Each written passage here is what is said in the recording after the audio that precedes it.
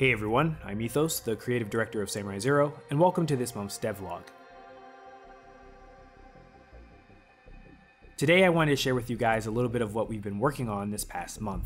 Unfortunately, due to the current health crisis, we were kind of limited and unable to complete every goal we wanted to accomplish this month, however we are still pretty happy with the progress we have made. So let's start with the big focus of this month, multiplayer networking. Being that Samurai Zero is a multiplayer game, we found it very important to nail arguably the most important system of the entire game. To that end, we started working on a networking system that allowed players to connect to one another and see and interact with each other. This undertaking is a massive one and actually ate up a majority of our development time this month. Now, one may ask, why focus on this first over other possible mechanics like combat? Well, it's pretty simple. Think of it like building a house. If the foundation of your house is not solid, the house will be built on shaky ground and over time become more and more prone to falling down. It's the same idea with game development. We can add the coolest gameplay mechanics to the game, but if the tech can't hold it up, the experience will not be enjoyable. So networking is a very complex topic that I don't want to dig too far into this devlog because it will end up being a much longer video. Our first test case was creating an IP Connect system where you could connect to a friend's IP and actually join a session together. Now obviously I have to point out that this is not how the full game's multiplayer system will function, and it's just being used right now for internal testing and for demo purposes. Later on in development, we plan on creating an in-depth matchmaking and party system that you should expect as standard of any multiplayer game. But for now, as a tool for debugging, it gets the job done. Once we got that up and running, we were able to connect two people from different locations to one instance and be able to see and interact with each other. The next stage came in the form of replicating our characters' movements on the server and clients. When dealing with networking, one of the trickiest aspects of it is making sure that every player can see exactly what every other player is doing every single moment while connected. As a player, anytime you input anything, movement or action, you send a ping to a server alerting the server to your intention, and then it's the server's job to mark that action and inform all the players of that action visually. Add on top of that ping differences and latency, and you have a perfect recipe for disaster. I'm certain you've all experienced it one time or another. Characters suddenly teleporting on your screen, or that feeling of you lagging. These are symptoms of the player not being in sync, and as a result, the server forcing some corrections on your end and other players' screens. This is just a very high level explanation of networking, as of course, like everything in game development, it is even more complicated during implementation. If you will for a moment, imagine what I just explained and replicate it so it works with every single gameplay mechanic in your game. That is what we've been focused on this entire month. Once we got our basic movement working online, we moved to our advanced movement, like our custom jumps and wall running, and that's when things got really tricky. Here's some transparent advice that I have for any indie devs that isn't really well known. It is hard, and I mean hard, to find good documentation about multiplayer systems. Don't get me wrong, there's a lot of good devs out there that have done it and tutorials on YouTube, but this information will never truly contain everything you need in order to make a good networking system for every type of game. Multiplayer games are not simple feats that can just be done by watching a couple tutorials. Luckily, our amazing programmer Reed has been doing a phenomenal job at figuring out the unknowns and forging a strong foundation for Samurai Zero's multiplayer component. And so with that, I am proud to announce that we have been able to successfully implement a listen server system for testing our gameplay mechanics in an online environment. It was our hardest obstacle to date, but we have so far very promising results. Now, I know some of you may be asking, what exactly is a listen server? So today, I brought Reed here to explain a little bit about networking and listen servers. If you don't, if you already know this stuff, just it's going to be very quick. But for anybody who doesn't, I just wanted to explain it. So the way networking works in Unreal, and I just shamelessly stole these slides from an Unreal presentation. Um, the way networking works, well, in general, is that you have one server and you have a bunch of clients that are connected to that server. And the server talks to the clients, and the clients talk to the servers. But you'll notice the clients do not talk directly to each other. They only ever talk to the server. So that's a really important uh, distinction to make.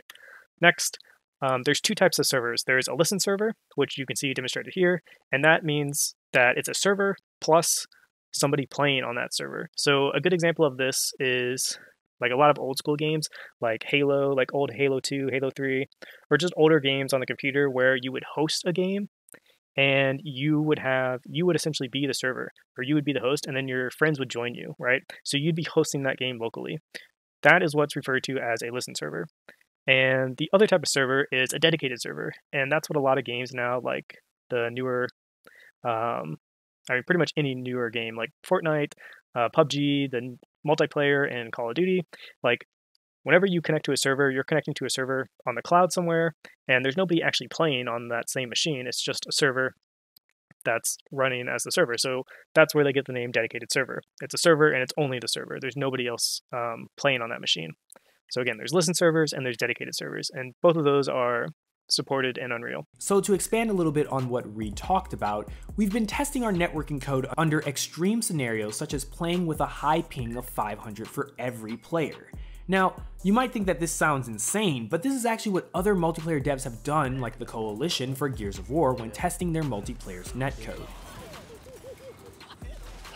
Our programmer Reed has discovered a lot of gems when developing the system, and we felt after finally getting it to work, this information was way too important to keep hidden and that is why we are happy to share with anyone interested an almost hour long in depth tutorial and discussion about listen servers and setting up networked character movement. We have spent an immense amount of time working on this system, and we hope that the information we can share with the greater dev community may help a developer not suffer through the same pains we had to this last month. So if you're a developer interested in this information or you're just simply curious, the link to the full tutorial is located in the description below. While we still have to finish hooking up networking for all variations of Samurai Zero's jumps, we are more confident than ever as we move into this month and start working on the system everyone wants to know the most about, combat. So I previously brought up how we had to set up a basic way for players to connect to each other for testing. So in order to do this, we had to create some sort of menu UI to allow players to host and join each other. So I took the initiative on this and took a trip to the Unreal Engine marketplace. Now, the marketplace is an awesome place full of free and purchasable assets created by other awesome UE4 devs for anyone to use for their games. I was in the market for a nice, clean, simple menu system framework that we could use as a placeholder for early testing and demo purposes, and came upon something truly amazing. Now, while Samurai Zero uses original custom made assets, in game development there will always be the need for rapid iteration when testing new features and systems the menu being one of them. So I wanted to find a menu that was simple but still nice on the eyes. And after a little bit of searching and weighing the different options on the marketplace, I went with this Battlefront 2 inspired Pro main menu asset. Now, I believe this is a great example of using store assets. Now, some gamers do look down on games that grab assets from these stores and just puts them all together without barely any changes and try to sell it as a brand new game on the market. Now, that in my opinion is not the purpose of these marketplace assets.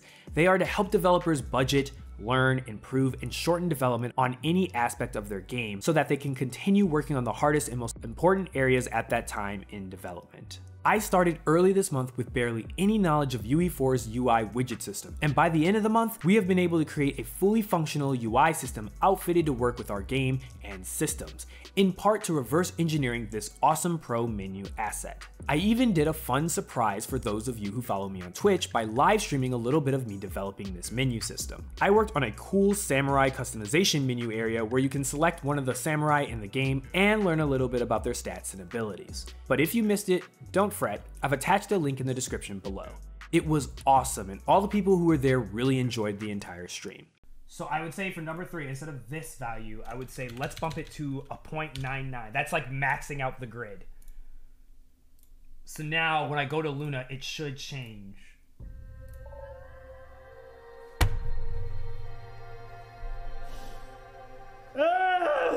I'm hoping that the team and I can do more of these types of streams as development continues on. So the team really loves the UI and we plan on expanding on it quite a bit using it as a placeholder if we decide on remaking it later into development. But for right now, it fits our needs perfectly. There's still a lot more we actually were able to do on the art side of things, but we aren't ready to publicly reveal them here yet.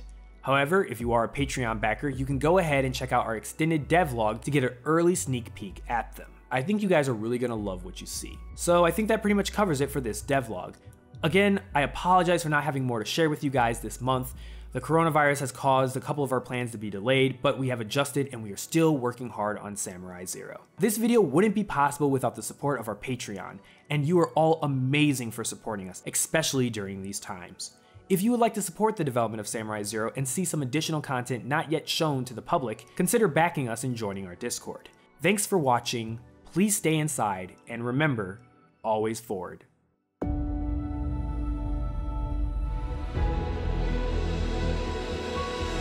How many would this be, Ray? One step forward. Two steps back. Why keep what you've learned about the city of glass?